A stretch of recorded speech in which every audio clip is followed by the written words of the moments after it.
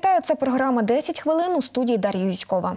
У новий рік з улюбленими піснями. Всеукраїнський фестиваль форум, який чимало років збирає навколо себе талановитих вокалістів з усієї України. З 5 по 31 січня триває прийом заявок на участь у даному творчому конкурсі. Детальніше говоримо про масштабну мистецьку подію з директоркою Палацу культури Центральної Ольгою Якубовською.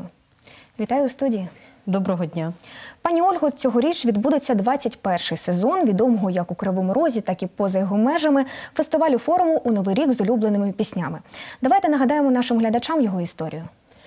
Наш фестиваль вже є традиційним. Е, Він е, у цього року е, носить назву Відкритий всеукраїнський фестиваль форум, вокальний сезон 21 а рік 2024. Цього року наш фестиваль буде відбуватися трохи у іншому форматі. Ми на конкурс запрошуємо тільки вокалістів, як зазвичай у інших періодах. У нас були і інструментальний жанр представлений у фестивалі, але цього року визначили, що е, більш актуальним, тому що наразі дуже неспокійні часи. Велику кількість людей ми і учасників, на жаль, не можемо запросити, е, тому обмежились саме е, тільки вокальним напрямком. У цьому році оновився і склад журі. Розкажіть про тих, хто буде оцінювати виступи учасників. Ну, по-перше, хочу сказати, що наразі триває прийом заявок. Він буде проходити до 31 січня, тому є шанс ще подати заявки. Ми у активному у активній роботі наразі оргкомітет наразі приймає ці заявки, реєстрацію. Як і кожного року, наш фестиваль відрізняється щорічним оновленням складу складу журі. Е, цього року до складу журі нашого фестивалю ми запросили е, наступних представників вокальної індустрії. Це е, наш відомий дуже талановитий хлопець Арсеній Журавель, який наразі вже працює у місті Одеса, навчається, працює, має дуже багато цікавих вокальних проєктів, власних вокальних проєктів. Він завітає у якості члена журі. Е, у якості члена журі ми запросили Тетяну Добрецову. Вона є викладачем методистом нашого Криворізького е, фахового музичного коледжу, е, членкиня асоціації хорового мистецтва, керівник вокального ансамблю нашого, у нашому коледжі. До складу журі ми запросили Сергія Гусятника, дуже відома в нашому місті студія звукозапису Ракурс Рекорд. Саме він є саунд-продюсером і музичним продюсером цієї студії. Він представляє студію студію на нашому фестивалі. Е, і до складу журі вперше до нашого міста у якості нашого член журі, гостя нашого міста завітає Наталя Шепеленка. Вона є е, музикознавцем, доцентом з, з, з філософії, е, є коучем цьогорічного проєкту, телевізійного проєкту каналу 1 плюс 1 Голос 2023.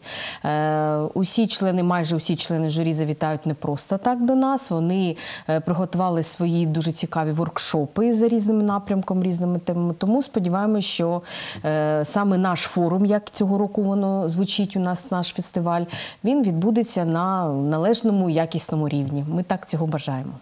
Хто та за яких умов може взяти участь у фестивалі? Ми запрошуємо вокалістів як професіоналів, так і аматорів е, віком 5+, е, і до безкінечності. Відповідно до положення є віковий ценз. Усі категорії вокалістів поділені на жанри, на на відповідні, відповідний вік, з якими буде оцінювати журі. Хочу сказати, що у цьому році також новинка це те, що наше оцінювання і робота журі буде відбуватися е, шляхом відкритого голосування за 10-бальною школою. Після кожного виступу учасника номеру буде виставлятися оцінки і відбуватися все дійство майже наживо у присутності глядачів, е, вручення нагород, визначення лауреатів першої, другої, третьої премії. А е, володарів гран-прі, наші члени журі, визначать після завершення усього конкурсного дня, який буде відбуватися 3 лютого. Відомо, що 2 лютого у Палаці культури Центральний відбудеться панельна дискусія журі, а також серія воркшопів, про які ви вже сказали.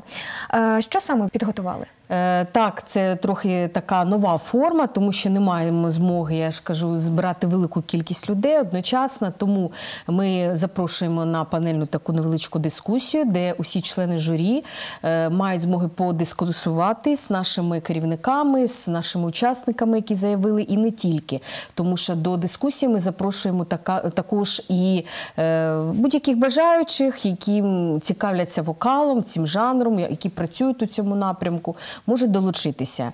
Е, На воркшопах, які саме будуть представлені 2 2 лютого, е, ми е, презентуємо саме студію Ракурс Records Сергія Гусятника, який ем, е, розповість у своєму воркшопі про е, лайфхаки музичного продюсування навіть на такому нашому рівні самодіяльному. Е, Наступний воркшоп запланований від Арсенія Журавля. Це музична арт-терапія, до якої навіть він запрошує долучитися не тільки ті, хто можуть співати, мають співати можливість, а ті, хто просто е, хоче відволіктись від сьогоднішнього сьогодення, дуже такого складного. Тобто, це така невеличка музична арт-терапія.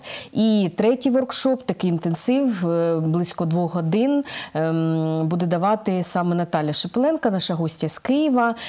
Вона саме буде е, розказувати більш цікаві креативні підходи у сучасному вокальному е, уроку е, для виконавців, а також для керівників. Коли розпочнуться вокальні змагання? Е, Вокальні змагання, саме конкурсний день буде відбуватися у суботу, 3 лютого. Розпочинаємо ми з 11 години. Е, Сподіваємося, що все ж таки наразі е, більш активніші учасники долучаться до нашого фестивалю, їх буде більше, тому конкурсний день буде тривати на протязі всього дня аж до вечора. Всіх запрошуємо. Розкажіть, будь ласка, про благодійну направленість даного фестивалю. Ну, наші е, події, наші заходи, які заходи, будь-які події, які наразі відбуваються у нашому взагалі-то місті, звісно, вони е, повинні нести саме ту благодійну мету, тому що наразі ми тут живемо, працюємо, а хлопці там на війні, тому підтримка повинна бути. І це є основним меседжем усіх наших заходів, незалежності коли і як вони проходять. Тому частина коштів за рішенням оргкомітету та за погодженням з нашими членами журі, е, ще ми не розуміємо, як в якому виразі це буде грошовому. Ми обов'язково е, направимо на підтримку наших збройних сил України. Дивлячись на досвід проведення фестивалю під час воєнного стану, наскільки подібні ініціативи вони є актуальними для творчих людей? Ну, звісно, тому що життя триває, і ми тут і зараз повинні його жити, яке воно є, підлаштовуватись під, під е, ці умови, дякувати, звісно, нашим збройним силам України та силам протиповітряної оборони за те, що ми маємо змогу працювати офлайн.